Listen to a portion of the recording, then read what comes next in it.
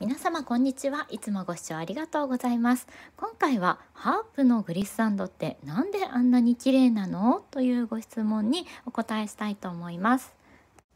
ハープが他の楽器にはない美しいグリッサンドが作れる秘密はイメド音が作れることなんですね。例えばシのナチュラルとドのフラット。本当はここをこう同時に弾くと今同じ音になってますがこうやって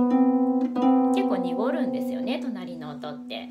例えばミのナチュラルとファとかも近い隣のあった音は結構濁るんですねここが半音になってるので。そこを同じ音に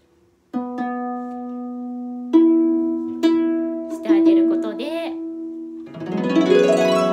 というようなこう濁りがないグリッサンドにできるんですね。ピアノは1音はじあの省いたりすることはできないのでそういったところが、まあ、マリンバとかもそうですけどグリーンサンドがある楽器もたくさんあるんですがそういったところがハープとは違うんじゃないかなと思います。